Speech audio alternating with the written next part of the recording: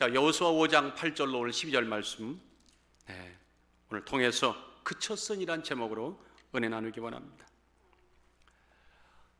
온 백성에게 할례 향하기를 피라며 백성이 진중각 초소에 처하여 낫기를 기도할 때에 여호와께서 여호수아에게 이르시되 내가 오늘날 애굽의 수치를 너에게 굴러가겠다 하였다 하셨으므로 그것 이름을 오늘까지 길갈이라 하느니라 이스라엘 자손들이 길가에 그쳤고 그달 진쳤고 그달 14일 저녁에는 여리고 평지에서 유월절을 지켰고 유월절 이튿날에 그 땅 소산을 먹되 그날에 무교병과 곡식을 먹었더니 그 땅 소산을 먹은 다음 날에 만나가 그쳤으니 이스라엘 사람들이 다시는 만나를 얻지 못하였고 다 같이 시작 그의 가나안 땅의 열매를 먹었더라. 그의 가나안 땅의 열매를 먹었더라. 오늘도 하나님의 주신 땅의 열매를 풍성히 취하고 여러분 것으로 오늘 소화하실 수 있는 은혜가 넘치기를 주의 이름으로 축원합니다. 오늘 앉으신 자리 보니까 여전히 늘 앉는 자리에 앉으셨네요. 왜 그럴까 생각해 보니까 익숙해서 그래요. 익숙해서 그래. 여러분들 익숙한 것은 좋은 것인가요? 갑자기 질문이 잘못됐나요? 이렇게 물어야 되는군요. 익숙한 것은 편안한 편안하십니까? 네. 좋다고 말하기는 그래요. 편안하기는 합니다. 좋, 편안한 면이 있을지 몰라도 익숙한 것이 다 좋지는 않아요. 다 편하지는 않아요. 그 속에 우리가 늘 겪는 어떤 폐단들이 폐가 있단, 있기 때문에 그렇게 말할 수가 없다는 것입니다. 영적인 세계는 더욱더 그렇죠. 편안함이 주는 것, 익숙함이 주는 매력은 참으로 좋은데 그에 못지않게 편안함과 익숙함으로 인해서 어느 상태에 주저앉으려고 하는 안주하려고 하는 그 폐단 때문에 영적 성장과 발전에 지대한 저장, 지, 지장이 미합니다. 지장이 있더라는 겁니다. 그래서 참된 평강을 익숙함이 가져올지에 대해서는 언제나 question mark 의문입니다. 성경 여러 곳에 또 익숙함 때문에 결국은 눈물을 흘렸던 사람들이 얼마나 많이 나옵니까? 여러분들 마태복음 19장에 보세요. 어떻게 해야 영생을 얻을 수 있냐면 당당하게 주님께 나왔던 젊은이였고 관원이었고 청년이었고 부자였던 한 젊은이 결국 주님과 속에 고기를 떨고 돌아간 사건들 아마 아실 것입니다. 그때 이렇게 말했잖아요. 주님이 어떻게 어떻게 하면 영생 얻을 수 있습니까? 주께서 말씀하기를 내가 온전하고자 할진대 가서 내 소유를 팔아 가난한 자들을 주라. 그리하면 하늘에서 보화가 내게 있으리라. 그리고 와서 나를 쫓으라니 다 같이 시작. 그 청년이 재물이 많음으로 이 말씀을 듣고 근심하며 가니라. 모든 것을 갖추었는 사람이었죠. 젊음도 있고 지위도 있고 재물도 있었어요. 그런 젊음과 지위와 재물들 얼마나 오랫동안 익숙했고 특별히 재물은 그 얘기는 너무 친숙한 것이었죠. 그에게 당당함을 주는 매력적인 힘이 되기도 했던 그것을 영생을 어떻게 하면 취할 수 있냐고 물었더니 주님이 그걸 팔아서 그 익숙함을 손을 긋고 결별하고 그 재물을 팔아 가난한 자에게 주라고 그리고 나를 쫓으라는 그 말 한마디에 그 익숙함, 친숙함을 결코 끊지 못했습니다. 그리고는 근심하면서 돌아갔다. 익숙함의 자리로 돌아갔다는 겁니다. 여러분들, 우리가 신앙은 그런 면에서는요, 어떤 면에서는요, 익숙한 것과 떠나가는 것입니다. 익숙한 것과 결별하는 것입니다. 익숙한 것부터 독립하고 떠나는 세상 말로 아니라고 말하는 이 손살의 이 믿음일 때가 있다는 것입니다. 동의하십니까? 로마서 12장 그러므로 이전에는 얼마나 익숙한 것, 익숙한 것은 멀어지느냐가 진짜 실력이라고 특별히 시대의 정신에 익숙해 있지 말라고 강력하게 바울이 말합니다. 너희는 이 세대를 본받지 말고 오직 마음을 새롭게 함으로 뭘 받아서 변화를 받았어. 하나님의 선하시고 기뻐하시고 온전하신 뜻을 분별하라. 아멘. 그러니까 세상에 너무 익숙한 것에 젖어 살지 말라는 거죠. 그게 전부 다가 아니라는 겁니다.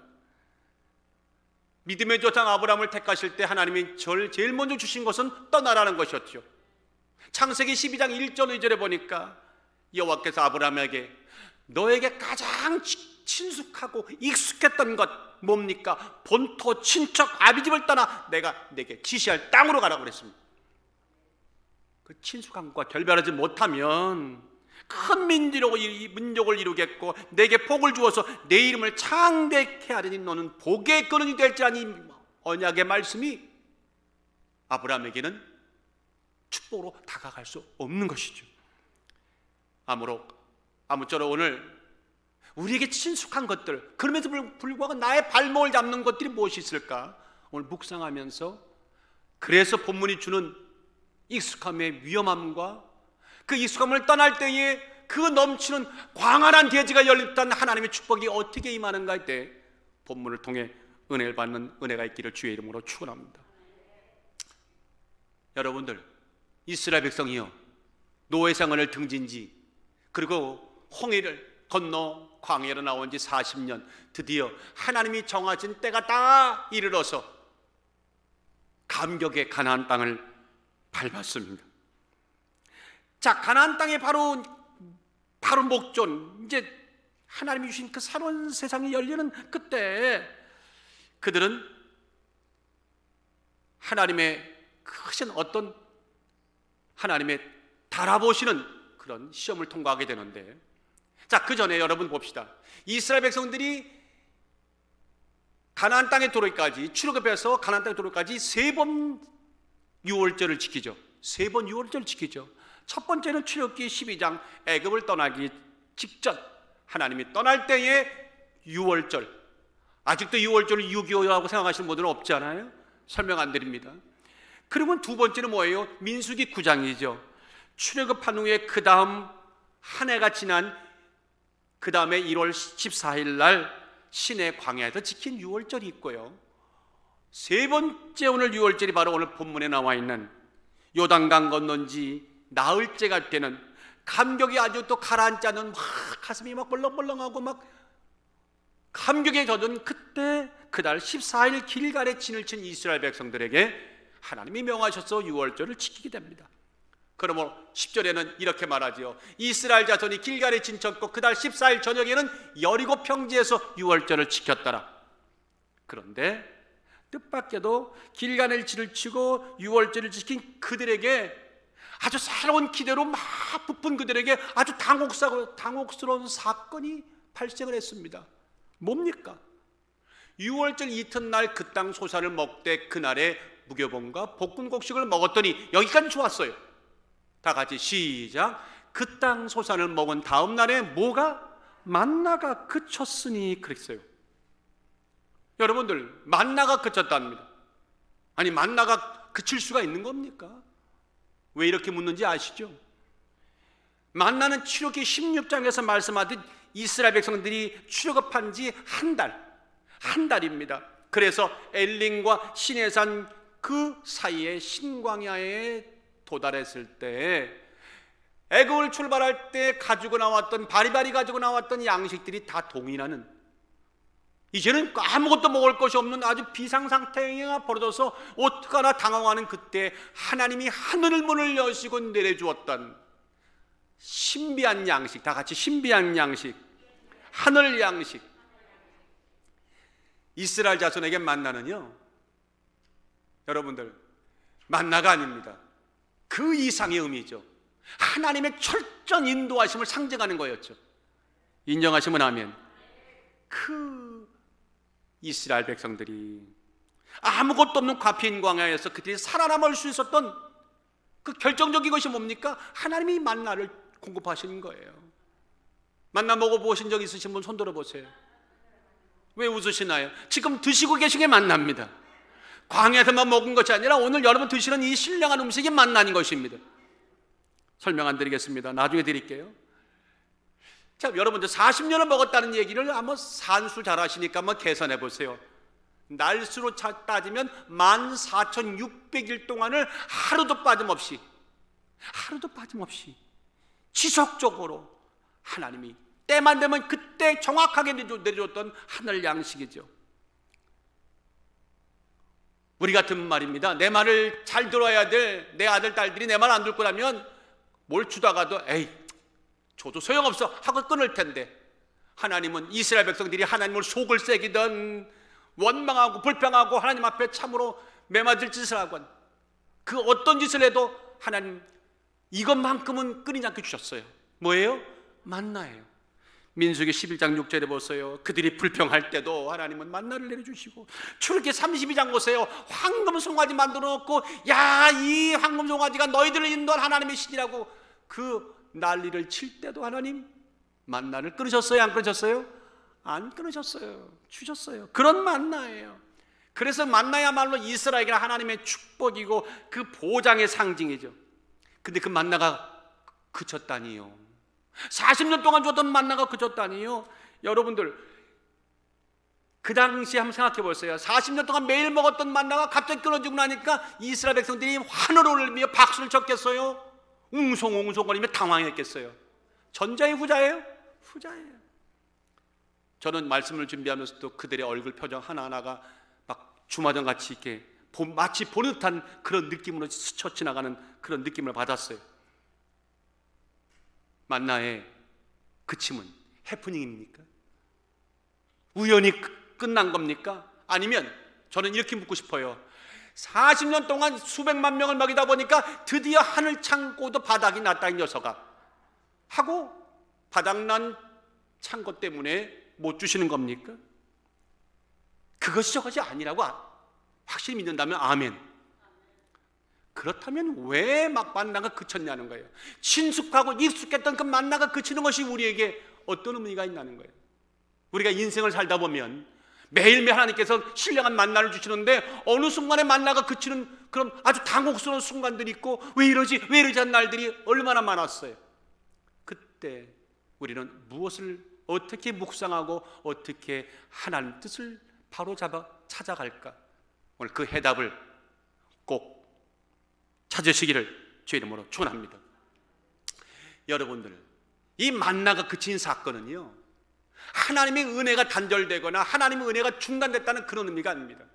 도리어 이제는 성숙했으니 스스로 개척해서 양식과 땅을 취하라고 하는 다 같이 하나님의 더 큰 배려와 은혜다. 은혜가 끝났다는 게 아닙니다. 이건 배려라는 것입니다. 새로운 시작이라는 겁니다. 영적으로 보면 단단한 식물을 먹는 그런 장성한 분량이 됐으니까 이제 그에 답게 행동하라고 하는 하나님이 기회 주시는 것이지 우리를 공경에 빠뜨리는 것이 아니다. 한번 따라 하십시다. 만나가 그쳐야 비로소 땅을 얻을 수 있다. 만나만 계속 먹으면 가나안 땅 절대 절대 우리 것 못 만듭니다. 만나가 그쳐야 가나안 땅 얻을 수 있고 농작할 수 있고 경작할 수 있고 우리가 땀 흘려 수고한 하나님의 신비한 은혜를 또 입게 될 줄 믿습니다.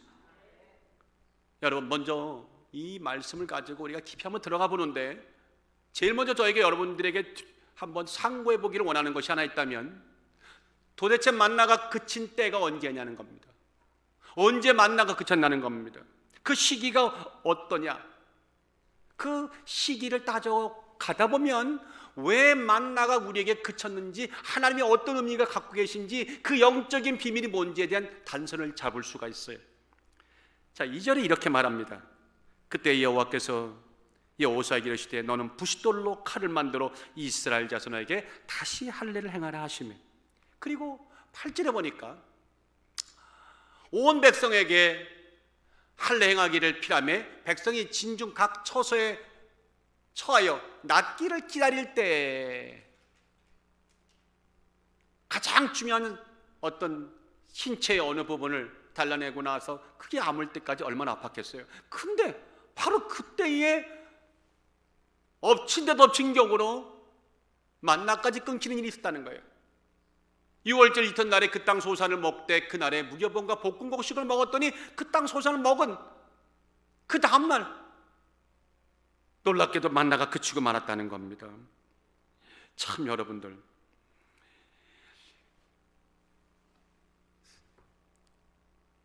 만나가 그친 시기를 그 전후에서 몇 가지 중요한 일들이 났어요. 하나는 뭐예요? 할례를 받았다는 거고 또 하나는 뭐예요? 유월절을 지켰다는 거 아니에요? 할례와 유월절을 지키면서 만나가 끝쳤어요. 이게 우연이라 생각합니까? 아닙니다. 우연이 아닙니다. 자 보세요. 유월절은 언제나 시작의 의미가 있잖아요. 이스라엘 백성들이 출애굽할 때에 제일 먼저 유월절을 지키게 한 것은 지나간 노예 역사 이제 종식됐고 1776년에 7월 4일 이 미국이 새로운 건국을 맞고 독립의 깃발을 든 것처럼 영적으로 독립하는 그런 의미가 유월절 있잖아요. 모르시는 것처럼 가만히 계시네요. 믿으시면 아멘.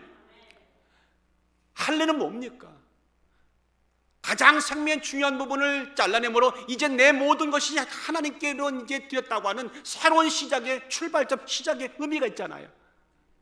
근데 그, 그 시작의 의미와 맞물려서 만나가 그쳤다고 하는 거 상당히 우리에게 주는 바가 크고 우연이 아니다. 특히 눈여겨볼 대목이 있다면 땅의 소산을 먹은 그 다음날 만나가 그쳤다는 거예요. 땅의 소산을 먹은 다음날 그쳤대요. 가면 갈수록 무언가 하나님이 만나가 그칠 수밖에 없었던 만나가 그침으로 인해서 우리에게 주고자 하는 메시지가 서서히 수면으로 올라오는 것을 우리가 느낄 수가 있잖아요. 하나님 도대체 왜? 왜 만나가 그치게 한, 그쳤습니까? 40년 동안 그렇게 뭡니까?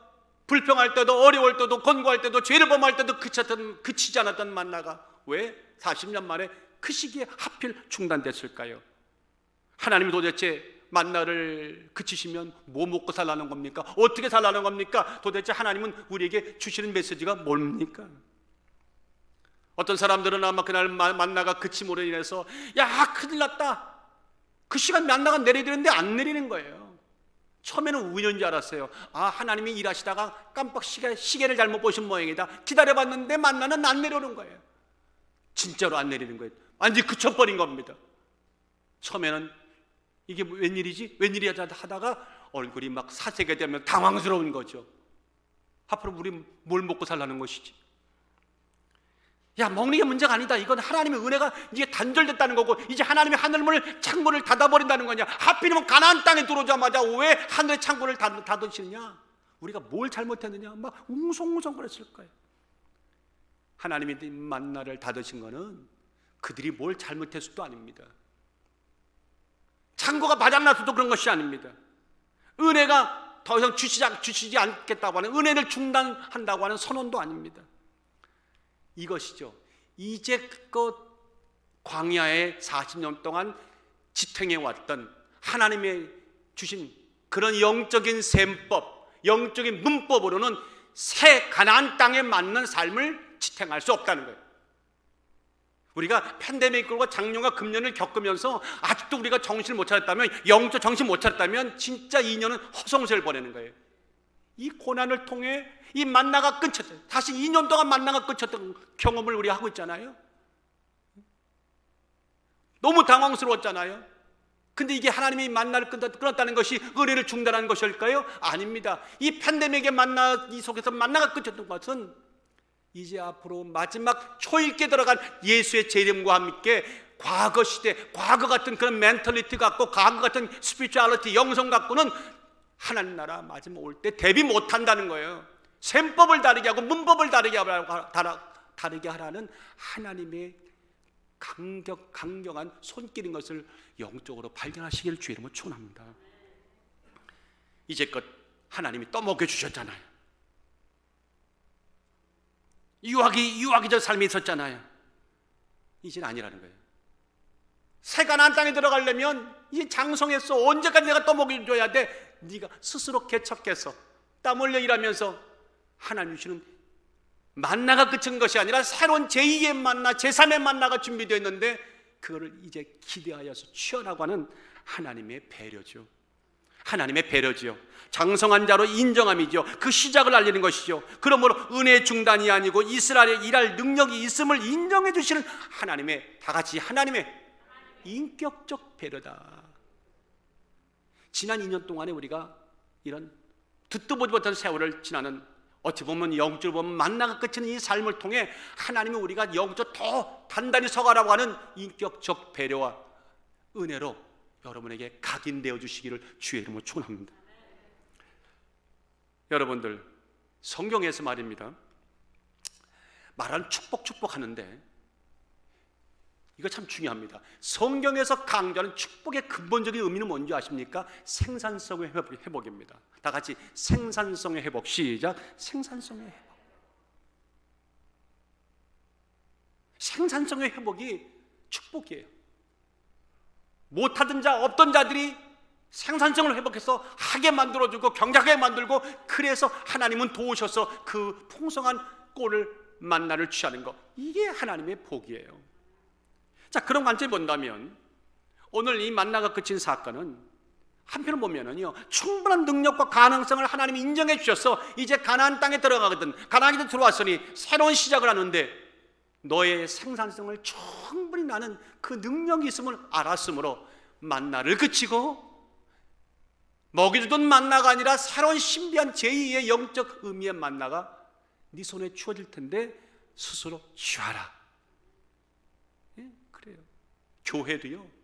언제까지 유아기식으로 받기만 하면서 언제까지 그냥 애둘러서 둥기둥기 이게 언제까지 그래야 됩니까? 참 안타까운 거예요. 신앙생활 10년, 20년, 30년 됐으면 거기에 합당한 자로서 이제 제2의 만나를 취할 때가 이미 지나, 지나지 않았습니까? 동의하시면 아멘. 그건 하나님이요, 배려해 주시는 겁니다. 여러분들의 힘과 능력 마음껏 발휘하시는 새 무대 이게 펼쳐 있습니다. 그래서 포스트 팬데믹은 새로운 무대가 펼쳐질 겁니다. 교회들에게 새로운 각성과 새로운 열려짐. 그래서 목회 현장에서 목회 생각과 말씀의 방향과 모든 기도가 새로워져야 되지.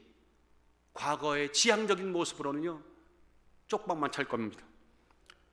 여러분들 가난한 땅의 삶은 더 이상 앉아서 가만히 누가 갖다 주면 먹여주는 만나를 먹는 유아기 때 광야의 삶이 아닙니다.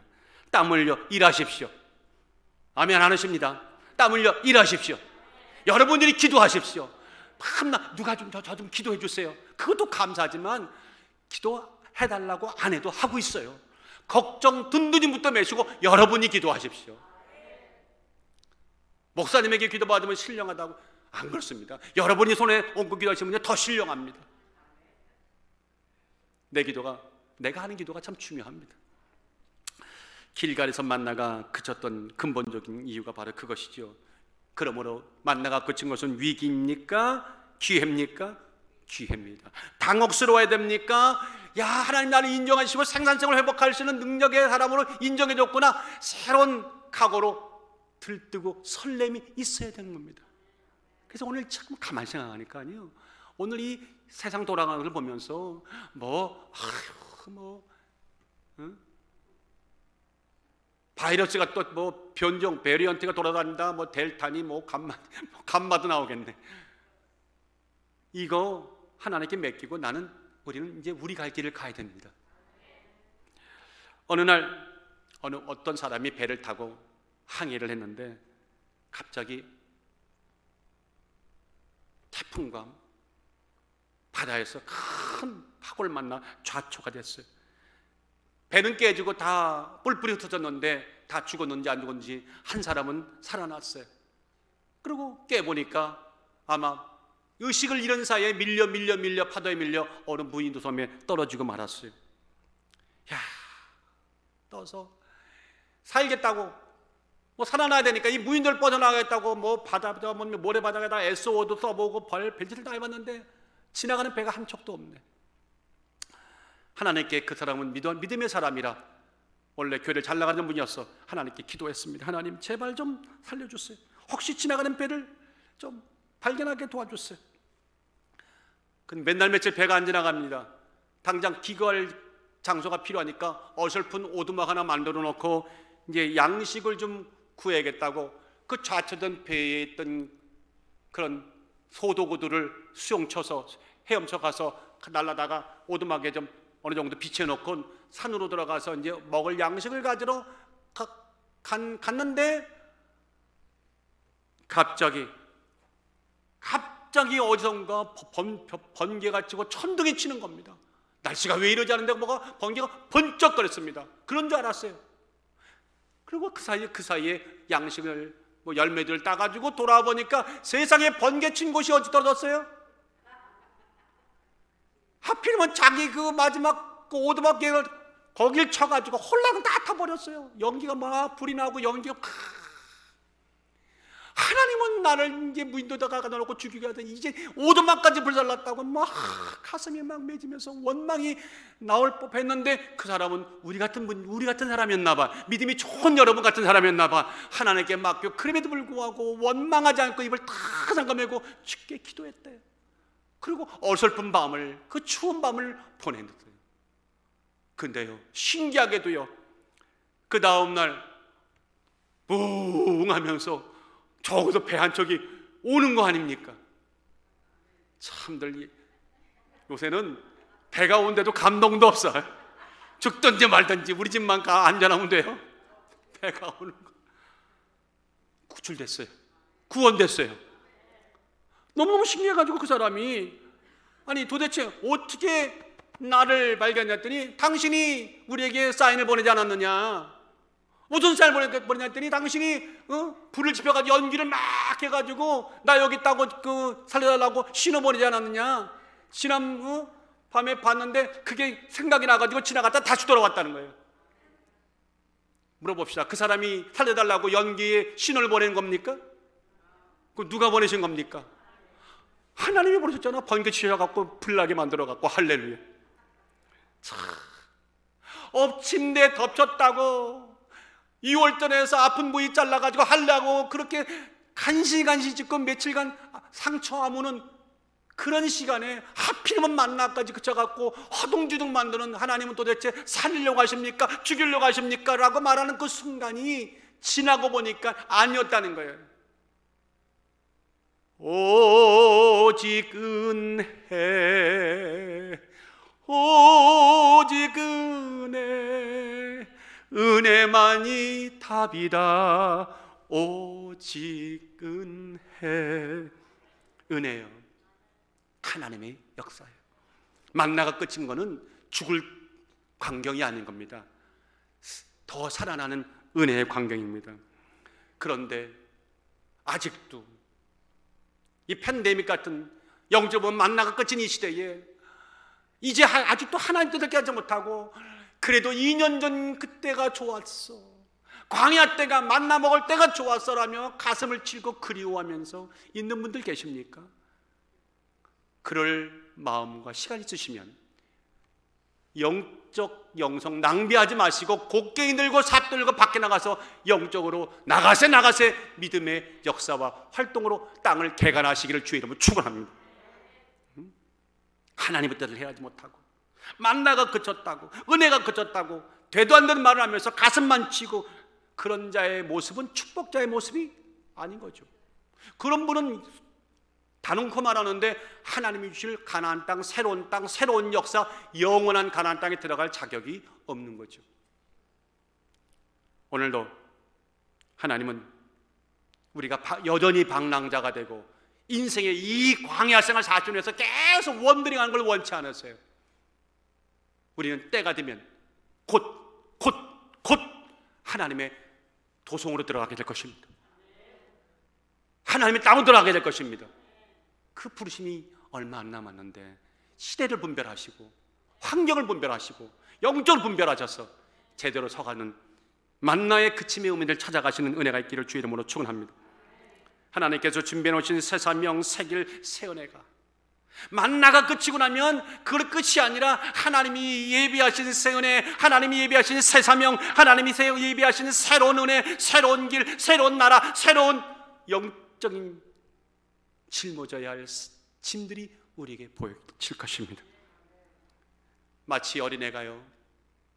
어릴 때 아기를 낳아가지고 아, 젖을 먹을 땐 너무 좋은데 알고 보니까 엄마가 젖을 안 주네요. 우유를 안 주네. 이 엄마가 미쳤나? 그리고는 이 상을 자꾸 먹이는데 입에 넣어주는 거예요. 그게 뭐예요?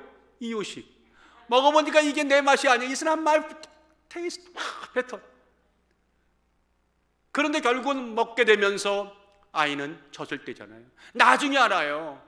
야, 이렇게 만난 이유식 말고 더욱 만난 음식들이 이렇게 많은 줄 내가 알았더라면 나자마자 내가 우유 안 먹고 이거 먹었다. 정말 여러분들 만나로 만족하지 마세요. 만나는 임시방편 양식입니다. 마태복음에 그러므로 이렇게 말씀합니다. 새 포도주를 낡은 가작에 부대에 넣지 아니하나니 그렇게 하면 부대가 터져 포도주가 쏟아지고 부, 부대도 버리게 됨이라 다 같이요. 시작. 새 포도주는 새 부대에 넣어야 둘이 다 보존되느니라. 새 은혜는요 새 부대에 남아야 돼요.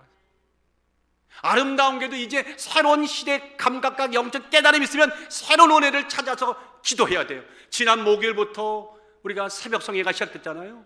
저는 요번엔 개인적으로 느끼고 있어요. 깨달음이 다르고요. 메시지가 다르고요. 보여주는 게 다르, 다르게 보이더라고요. 그래, 저만 그래요. 새 포도주가 새 부대에 담겨야 되는 이치와 같다는 겁니다. 그러므로 기억하십시오. 오늘 만나가 그친 이때 시대가 새로운 시대가 열리는 길가에 서 있는 그 이스라엘이 수천 년 전에 그들이 아니라 바로 오늘 우리가 영적인 현장에 그와 같다는 사실을 동질화시키고 동일화시키셔서 이것이 케케묵은 전설이나든가 실화가 아니라 내 얘기가 되시길 my story가 되시기를 예수 이름으로 축원합니다. 하나님께서 이스라엘 백성들에게 계속 만난을 줬다고 생각해 봐요. 가나안 땅에 들어가서 또 계속 만난을 줬다고 생각해 보세요. 그들이 발전이 있었겠습니까? 그들이 영적 성숙했겠습니까? 미안합니다. 영적 보면은 기적이 차고 계속 있었던 거예요. 나태해지고 무, 무책임해지고 무기력해져서 나중에는 그들은 스스로가 멸망할 겁니다. 하나님은 그걸 너무 잘 아시는 것이죠. 그러므로 히브리서 5장 14절에 말씀합니다. 단단한 음식은 장성한 자의 것이니 단단한 음식물은 장성한 자의 것이니 그들은 지각을 가만히 있는 게 아니에요. 지각을 사용함으로 연단을 받아 선악을 분별하는 자니라. 오늘 우리가 그런 깨달음을 갖기를 주의 이름으로 축원합니다. 그러면 목사님, 목사님, 그 만나가 그친 이유를 깨달은 자들, 언약의 백성들께 살라는 하나님의 배려라고 그 믿을 그 깨달음이 깨달은 자들, 그것이 기회라고 느끼는 자들, 이 팬데믹의 어려움이 기회라고 또 다른 기회라고 느끼는 그런 믿음의 확신이 있으면 우리가 어떻게 됩니까? 뭘 어떻게 될까요? 답은 여기에 있어요. 여러분 저거 뭔지 아시죠? 밖에 지나가다 보면은 우리 저, 저 우리 지역 지나가다 보면 저런 어? 창고들이 툭툭 서 있잖아요. 저거 사일로라고 하잖아요. 곡식 창고죠. 그래서 저걸 빗대 가지고 올가이제이셔널 사일로스 사일로 효과라는 이 경제 용어가 있어요. 이게 뭐냐면 조직한 부서들이 서로 다른 부서와 담을 쌓고 자기 부서, 우리만 잘 되면 돼 하고 자기 부서의 이익만을 추구하는 현상. 얼마나 그건 적은 그릇이에요. 그 바보 같은 짓이죠. 한 부서가, 한 교회가 있으면 각기 부서가 많은데, 아, 우리만 잘 되면 돼 하고 자기만 해서 어떤 좋은 인포메이션 정보 교환 안 하고 자기 안에 갇히면 교회가 발전합니까? 회사가 발전합니까? 절대 안 되죠. 그런 이기주의를 경고하는 것이 사일로 효과예요. 원활한 교통, 낮은 담, 그런 서로에 대한 인격 배려와 환영과 하나 되는 것이 결국 발전과 성장의 핵심이 된다는 거죠. 하나님의 뜻 만나가 그친 것이 우리에게 대한 우리에게는 슬픔이 아니라 기쁨이고 새로운 축복과 하나님의 인정이라고 하는 생산성 회복이라고 하는 그 의미를 깨달았다면 깨달은다면 이젠 우리의 삶 속에서요 영적인 삶 속에서요 저 영적인 사일로 효과 떠나가야 됩니다.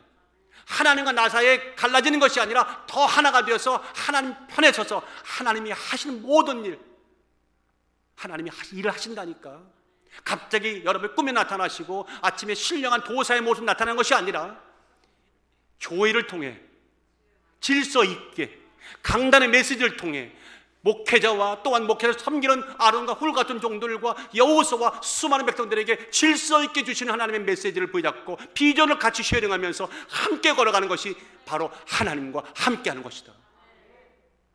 그런 교회가 영적으로 힘이 있습니다. 목사님 따로, 장로님 따로, 따로 국밥 안 됩니다. 목사님 따로, 안수님 따로 안 됩니다. 목사님 따로, 성도님 따로 안 됩니다. 우리는 하나입니다. 어디에 붙어 있는 하나? 예수의 십자가에 붙어 있는 하나들. 우리를 자녀 삼아 주신 것도 참 감사하죠. 생각해 보면 감사해요. 제가 며칠 전에 얘기했죠. 어느 우리 우리 교단의 목사님이 전화가 오셨다고 갑자기 지난 며, 며칠 전에 아주 담담한 목소리로 목사님 기도해 주셨는데 결과가 나왔어요. 조직 검사 나왔어요. 간암이래요. 5cm랍니다. 나는 너무 당황했는데 그분은 너무 담담하시는 거야. 이게 3일 전 얘기예요. 뭐라고 내가 위로를 불과 한 달 전에 32살 된 아들이 두 분 계셨는데 30살인가 32살이 된 아들이 작은 아들이 갑자기 운명을 달려 하나님 불러 가셨어요. 그 장례식 치른 지 한 달도 안 됐는데 참 그래서 그게 한마디 했어요. 그럼에도 불구하고 하나님은 좋으시다. 그럼에도 불구하고 하나님은 목사님 함께 하실 겁니다. 하나님과 그같이 긴밀하게 하시고 같이 붙어 계시면 이 고난이 하나님께 주시는 새로운 그 나라를 위한 놀라운 기적과 간증과 그 수많은 삶을 살리시는 기적의 거리가 될 거라고 저는 믿습니다. 지금도 기도하고 있습니다.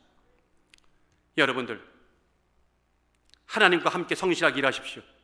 순정하며 앞으로 나아가십시오. 가나안 땅을 믿음의 땅 하나님의 역사가 충만한 땅으로 만드는 일에 남이 아니라 내가 해야 된다고 하는 내가 주역이 된다고 하는 생산성을 회복하는 내, 가 삭과 곡괭이를 들고 그 땅을 개간하는 여러분과 제가 되기를 그런 모습이 여러분의 삶 속에서 모든 자들에게 비춰지고 드러날 수 있는 기회가 있기를 예수의 예수의 예수의 이름으로 축원합니다. 과거요 40년 광야 생활 주었던 하나님의 주파수 그게 98.9 메가헤르츠인지 뭐 뭔지 모르겠지만 과거의 만나의 주파수는요 가나안 땅에는요 교신이 안 돼요. 제발 팬데믹 이전에 그 주파수 갖고는요 지금 영적 생활 못 해요.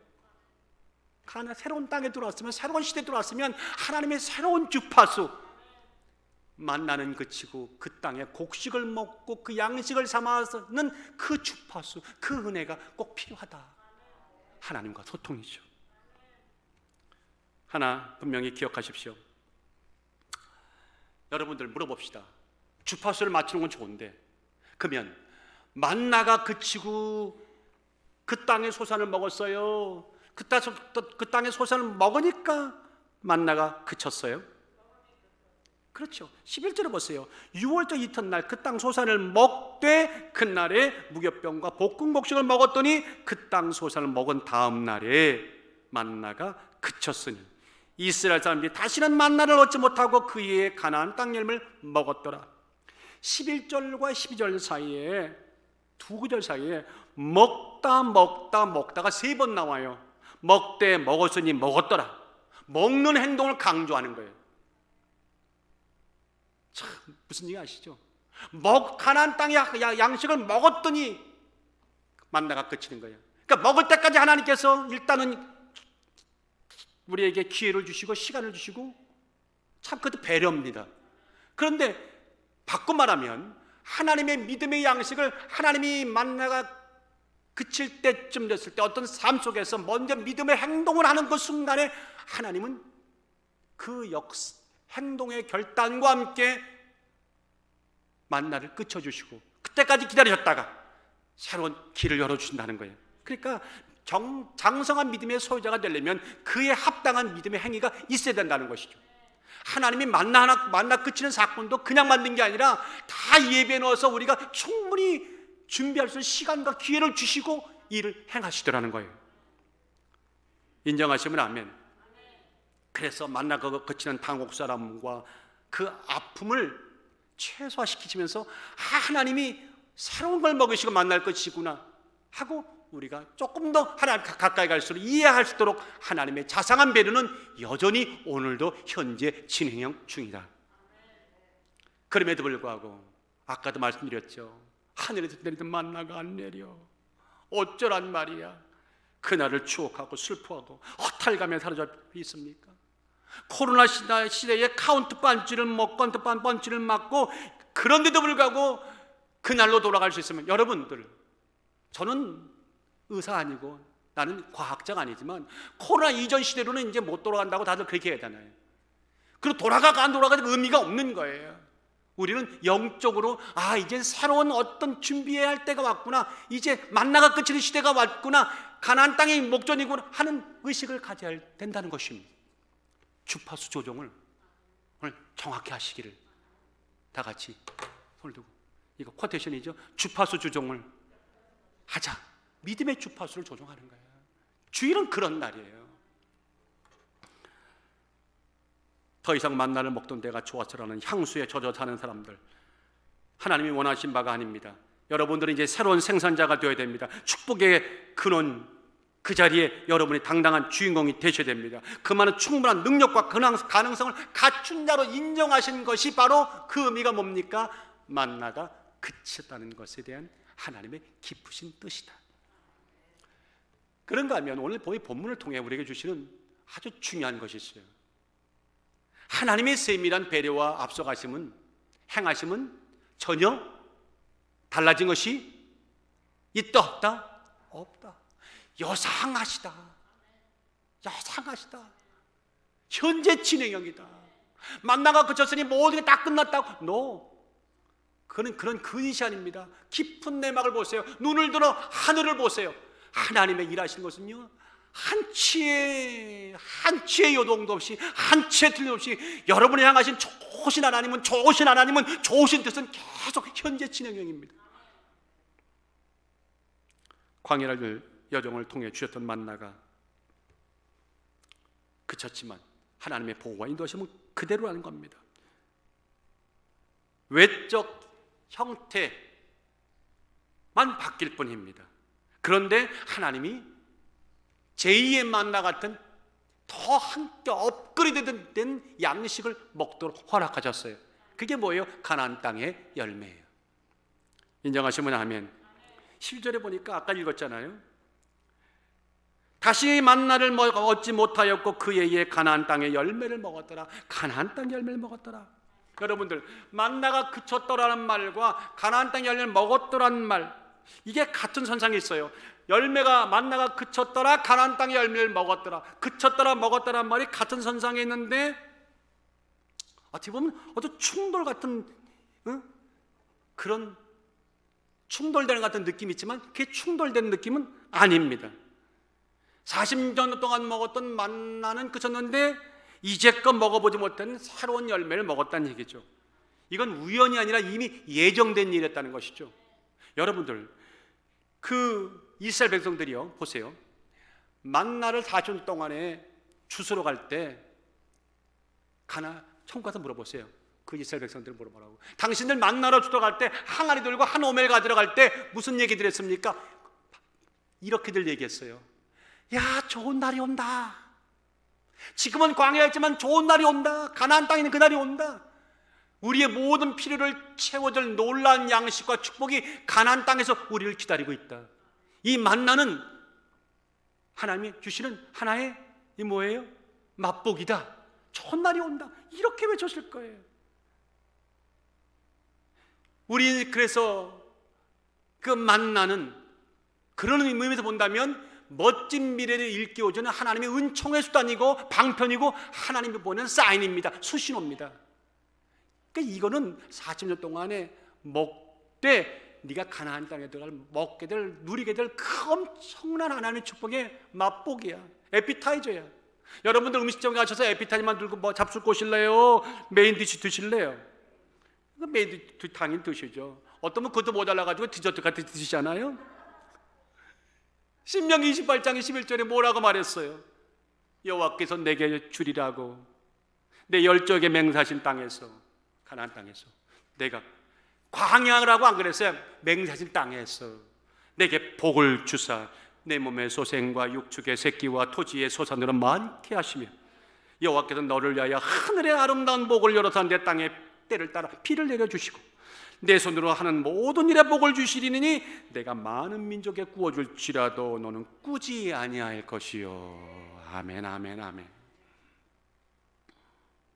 이건 미리 오래전부터 하는 약속이에요 무슨 말입니까? 만나는 템포러리 훗이라는 거예요 때가 되면 멈출 거였어요 그러니까 멈췄다 하더라도 그쳤다고 하더라도 걱정하지 말라는 거예요. 새로운 시작이 있다는 겁니다. 하나님 그 땅의 열매와 소산을 먹게 해줄 것이라고. 특히 하나님이 일하시는 것은 늘 변함없다. 외형은 바뀌었을 때도 내용에는 도도하게 흐르는 하나님의 물줄기는 우리 장로님과 안수사님과 권사님들과 집사님과 온 성도 어린 생명까지 한순간도 떠나가지 않으시고 한순간 떠나가지 아니하시고 머리털 하나까지 세신 하나님은 여러분들을 세밀하게 인도해 주신다.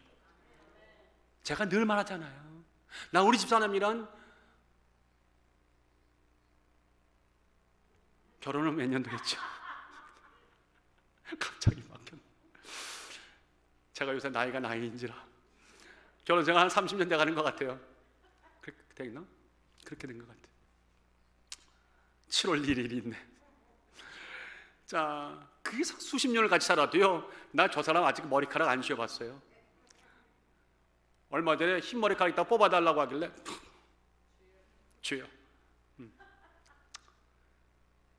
저 사람이 내 흰 머리카락 몇, 몇 개인지 아, 아, 압니까? 몰라요 그렇지만 우리는 사랑하잖아요 근데 하나님은 다 아시고 계시다는 거 참 놀라우신 분이에요 놀라우신 분이에요 여러분들 치료기 16장을 한번 보면 참 재미난 얘기가 나와요 모세가 그들에게 이르기를 아무든지 이전까지 그것들을 남겨주지 말라 뭐죠? 만나 만나는 하루에 주는 양, 똑같은 양이 있죠.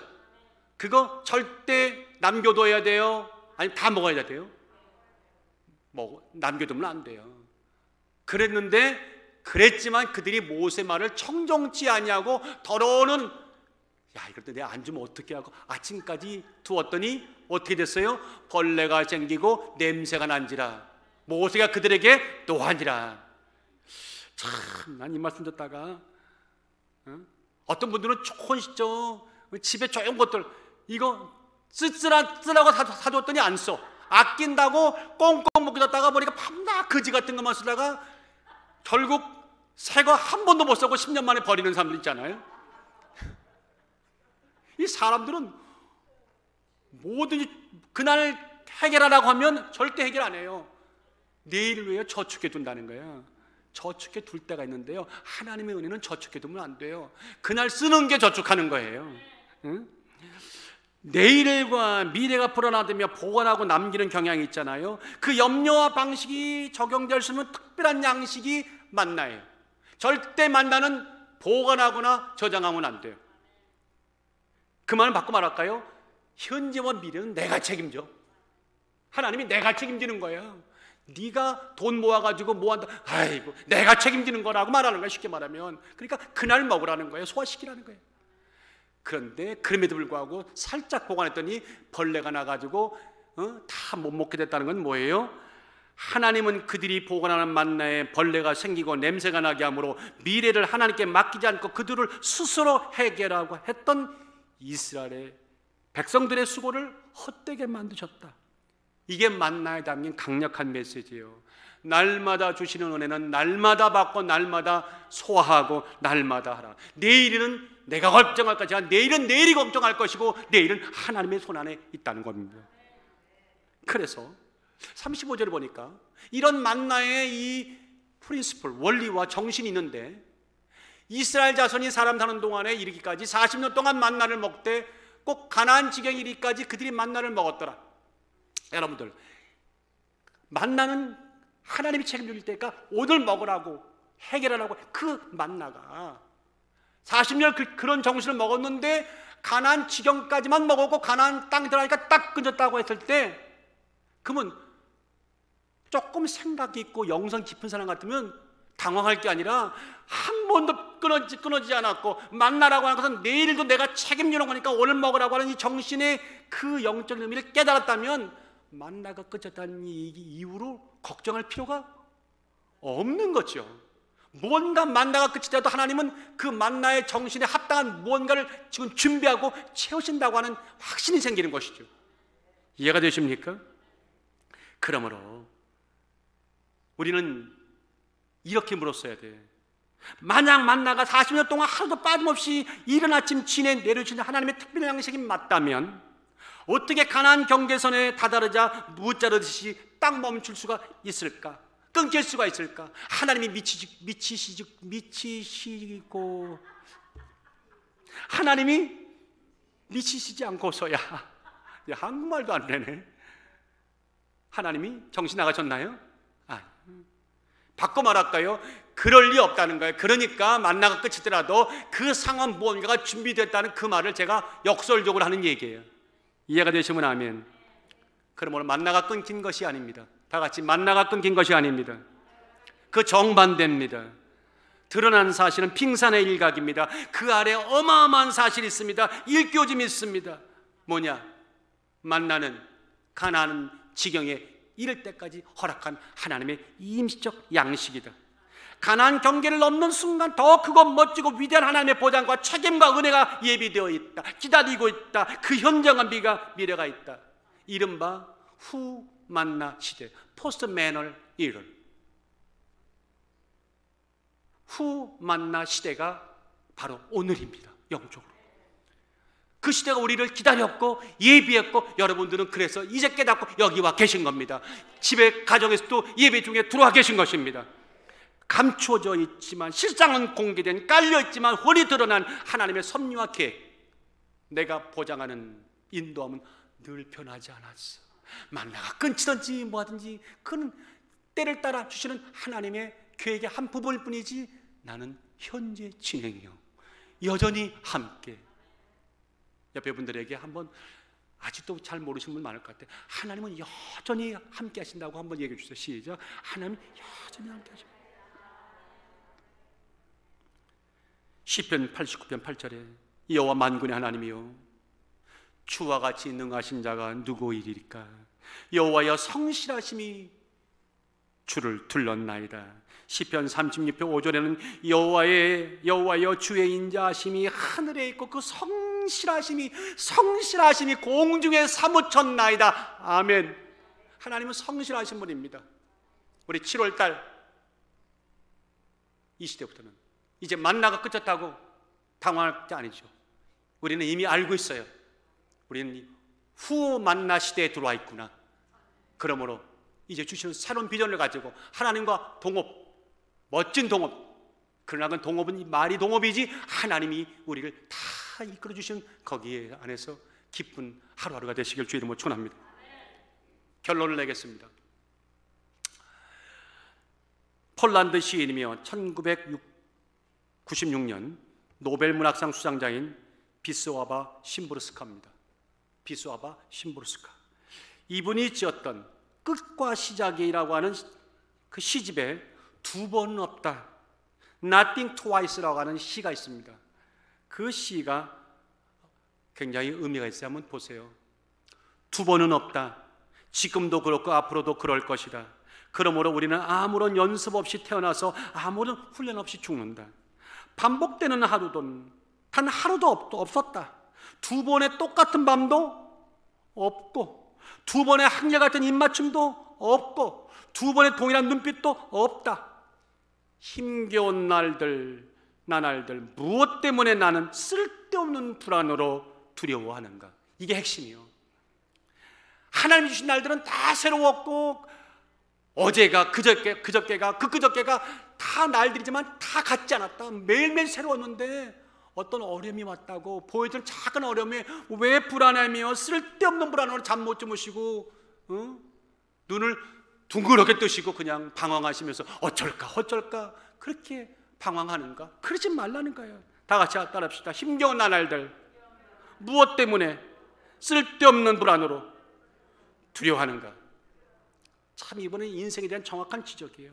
인생은 짧지만 그 가치와 의미는 대단한데 하루도 반복함이 없는 하나님의 멋진 작품인데 그 하나님 믿는다면 쓸데없는 걱정 말 끝이고 만나가 끝좋다고 그래서 당장 죽을 것처럼 경제 정치 문화가 다 무너질 것처럼 그냥 아우성 치지 말고 얼마 전에 우리 교단의 한 목사님이 전화 오셔갖고 1년 동안에 뭐 어느 못 뵀는데 교회를 이제 나오게 돼서 너무 기뻤는데 너무 마음이 아팠대요. 얼굴이 너무 막 늙었더라는 거예요.